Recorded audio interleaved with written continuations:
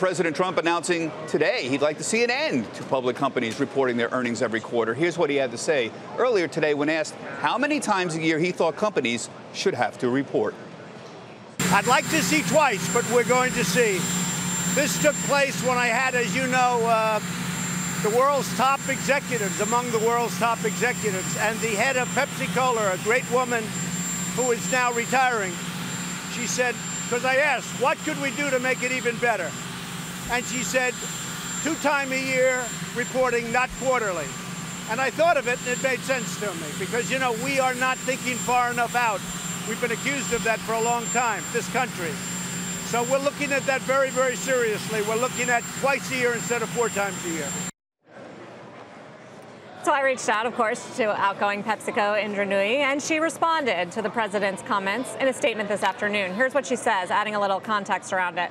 Many market participants, as well as the Business Roundtable, which we are a part of, have been discussing how to better orient corporations to have a more long term view. Most agree that a short term only view can inhibit long term strategy and thus long term investment and value creation. My comments were made in that broader context and included a suggestion to explore the harmonization of the European system and the U.S. system of financial reporting. In the end, all companies have to balance short term and long term performance. Well, look, who can argue with that statement? Of course, all the companies have to balance it, but I still come down on the side of where the SEC was 80 years ago, where they said more information is better. That's what happened 80 years ago, and I'm still with the SEC on that. Let's have a conversation about it. Is it time for companies to change the way they report earnings? Joining us to discuss is Amy Borrus, Deputy Director of the Council of Institutional Investors. And on the phone is Allen Questrom, former chairman and CEO of J.C. Penney. Alan, wanted to ask you, J.C. Penney right now is a company that is struggling. Would they do better if they only had to report earnings every six months?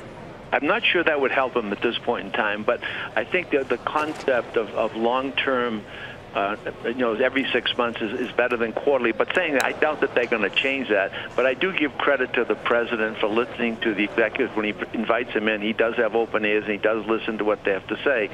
I think what we all want to see is people think about the long term and what we now have on analysts, and particularly analysts love it because they love to go through it. And I think he just have examples this this last quarter of, of, of Walmart where the stock went up because of primarily because of the internet was up 41 percent. When they finished the last quarter of last year, it was down to 22 percent. So now it jumps. That's only one. You know, it's only six months later. And in the case of Macy's, they report a very first good first quarter because of a change in sale, and the second quarter comes out much less, so the stock goes down. I mean, people can't respond that way, but that's what the market's going to do. The key is that the executive who runs the company has to think long term, whether they report quarterly or they report every six months. That's the key to any business. You have to think of how the business is going to look six months, two, six years, 16 years from now.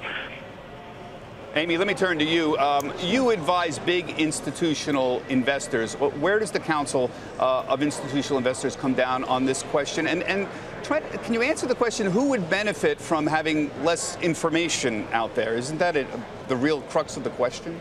Well, that's true. And, you know, of course, uh, executives would like more fewer restrictions on when they report and how, how often. But would that benefit the investors, who, after all, are the owners, the share owners of the companies? Um, quarterly, rep- quarterly, reporting provides investors with, uh, you know, with accurate information, timely, accurate information. They need to make informed investment decisions. It's been around for a long time and uh, it provides discipline and accountability in the marketplace. You know, if you have longer intervals between reporting, uh, you could have more, be, first of all, it'd be harder to uncover any shenanigans that might be going on. Think back to Enron in 2001.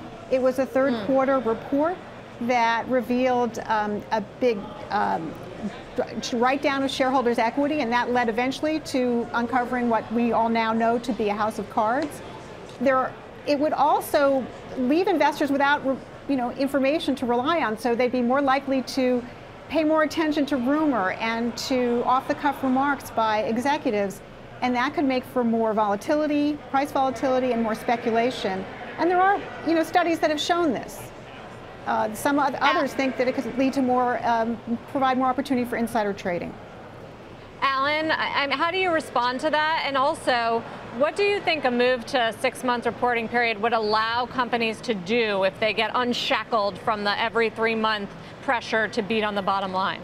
Well, uh, again, uh, you know, I think analysts certainly like it every quarterly because that gives them something to do. They probably wouldn't need as many of them if they had to do it every six months.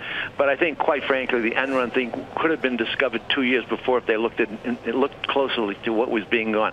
I, I think it's it's me. It's how the CEO wants to treat it. I, I'm all for six months, but I don't. And as I said, I don't think it's going to change.